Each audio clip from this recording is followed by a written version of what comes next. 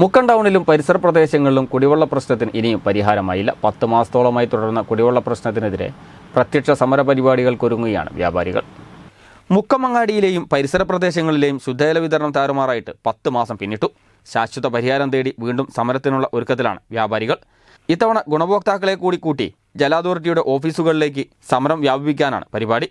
ജലവിതരണത്തിലെ അപാകതകൾക്ക് പരിഹാരം തേടി കഴിഞ്ഞ ജനുവരി നാലിന് വ്യാപാരി വ്യവസായി ഏകോപന സമിതിയുടെ നേതൃത്വത്തിൽ വ്യാപാരികൾ നിരാഹാര സമരം നടത്തിയിരുന്നു. തൊട്ടുപിറകെ രണ്ട് ദിവസം ചിലയിടങ്ങളിൽ മാത്രം പേരിന് വെള്ളമെത്തി.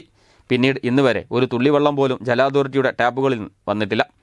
കൊടുംചൂടിൽ വെള്ളത്തിനായി വ്യാപാരികളും ഗുണഭോക്താക്കളും നെട്ടോട്ടം ഓടുകയാണ് അങ്ങാടിയിലെയും പരിസരത്തെയും ഹോട്ടലുകൾ പ്രതിസന്ധിയിൽ തന്നെ. പണം നൽകി വാഹനങ്ങളിൽ വെള്ളമെത്തിക്കേണ്ട അവസ്ഥയിൽ ആണിവർ. പി സി റോഡ് മുതൽ ബസ് സ്റ്റാൻഡ് വരെയുള്ള ഭാഗത്തെ സ്ഥലങ്ങളിലാണ് ജല അതോറിറ്റിയുടെ വെള്ളം കിട്ടാത്തത്. പുതിയ ബസ് സ്റ്റാൻഡ് വില്ലേജ് ഓഫീസ് വ്യാപാര ഭവൻ പെരളിയിൽ മൂലത്ത് എടക്കഞ്ചേരി ഭാഗങ്ങളിലും ശുദ്ധജലം നിലച്ചിട്ട് മാസങ്ങളായി. വെള്ളമില്ലെങ്കിലും ബില്ല് കൃത്യമായി ലഭിക്കുന്നതായി വ്യാപാരികളും ഗുണഭോക്താക്കളും പറയുന്നു. കഴിഞ്ഞ ദിവസം ജല അതോറിറ്റിയുടെ ഓഫീസിൽ നിന്നും ഗുണഭോക്താക്കളെ വിളിച്ച് നേരിട്ട് കൊടുവള്ളി ഓഫീസിലെത്തി പരാതി പറയണമെന്ന് പറഞ്ഞതായും ഇവർ പറയുന്നു. റോഡുകൾ കീറിമുറിക്കുന്നതിന് പൊതുമരാമത്ത് വകുപ്പിന് രണ്ട് ലക്ഷത്തിലേറെ രൂപ കെട്ടിവെക്കാനില്ലാത്തതാണ് പ്രശ്നം പരിഹരിക്കുന്നതിന് തടസ്സമായി നിൽക്കുന്നത്. പൈപ്പിലെ തടസ്സം കണ്ടെത്താനും ഇതുവരെ സാധിച്ചിട്ടില്ല.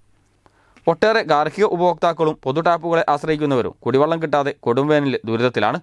പുഴകൾ ഉൾപ്പെടെയുള്ള ജലസ്രോതസ്സുകൾ വറ്റിത്തുടങ്ങിയതോടെ ജലക്ഷാമവും രൂക്ഷമായി.